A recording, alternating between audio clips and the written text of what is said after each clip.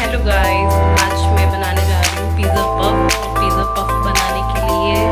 चले, देखते हैं क्या क्या बनाते हैं क्या क्या यूज़ करते हैं।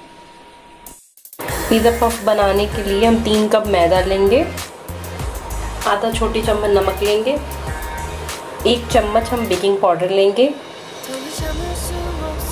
थोड़ा सा ऑयल डालेंगे। अच्छे से हम इन सब चीज़ों को मिला देंगे। अब हम इसमें फ्रिज का ठंडा पानी डाल के आटे को सख्त करेंगे मतलब लूज नहीं करना, सख्त करना है मतलब कैड़ा करना है। आटा हमारा हो चुका है, अब हम इसको आधे घंटे के लिए ढक के रख देंगे। पिज़्ज़ा स्टफ़ में हमने भरने के लिए लिया एक प्याज, एक शिमला मिर्च, एक गाजर, एक टमाटर और थोड़ी सी मटर। अब हम कढ़ाई में थोड़ा सा तेल डालेंगे।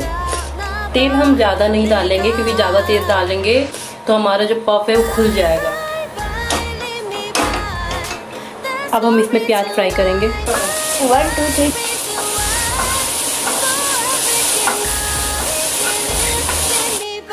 अब हम इसमें गाजर डालेंगे। अब शिमला मिर्च और टमाटर डालेंगे। अभी टमाटर थोड़ा रुक के डालेंगे। पहले शिमला मिर्च और गाजर को थोड़ा सा चला लेते हैं। अब टमाटर और मटर डालेंगे इसमें। टू थ्री स्टार्ट अब सबको अच्छे से चलाएँगे। आधी थोड़ी चम्मच हम नमक डालेंगे। हमें इसको ज़्यादा फ्राई नहीं करना है, हमें इसको थोड़ा सा क्रंची बनाना है। इसमें हम आधी छोटी चम्मच ऑर्गेनिक पाउडर डालेंगे। हॉट चिली डालेंगे इसमें हम। आधा कप हम इसमें थोड़ा सा पानी डालेंगे ज़्यादा पानी नहीं डालेंगे। अब हम इसको दो मिनट के लिए ढक देंगे। देखिए इसमें उबाल आ चुका है।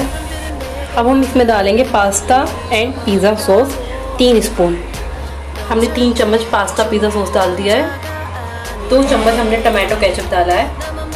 अब हम इसको अच्छे से मिला देंगे। अब हम इसमें अमूल चीज़ की स्लाइस डालेंगे, चार।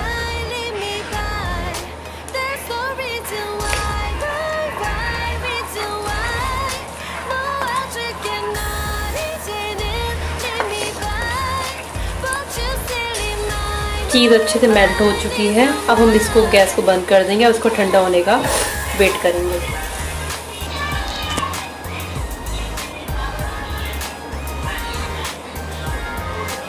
बहुत अच्छी खुशबू आ रही है।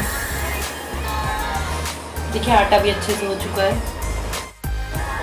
हम आटे को उतना लेंगे और इसको मोटा बेलना है। हमने इसको इस तरीके से लंबा बेल दिया है। अब हम चाकू की मदद से एक्स्ट्रा आटा निकाल देंगे।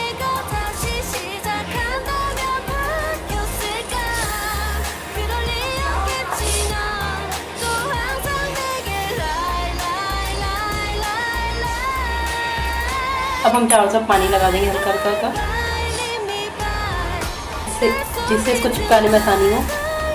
अब हम स्टफ़ को थोड़ा सा इसको बराबर बराबर करके मिलाएँगे। अब हम दूसरी परत को उठा के इसके ऊपर चिपका देंगे। इसको चारों तरफ़ से दबा देंगे। और इसको चारों तरफ़ से दबा के डिज़ाइन बना देंगे इससे अच्छा भी लगता है। अब इसको हम कढ़ाई में डाल देंगे।